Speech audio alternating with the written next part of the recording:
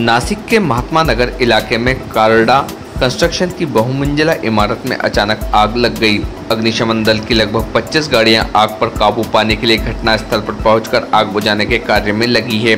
इस इमारत में कोचिंग क्लासेस भी चल रहे थे और पास में ही टायर और इलेक्ट्रिक की बड़ी बड़ी दुकानें हैं। सभी लोगों को प्रशासन ने इमारत से सुरक्षित बाहर निकाल लिया। आग लगने के कारणों का पता अभी नहीं चल सका है। भारतीय न्यूज़ के लिए नासिक से संदीप द्विवेदी की रिपोर्ट।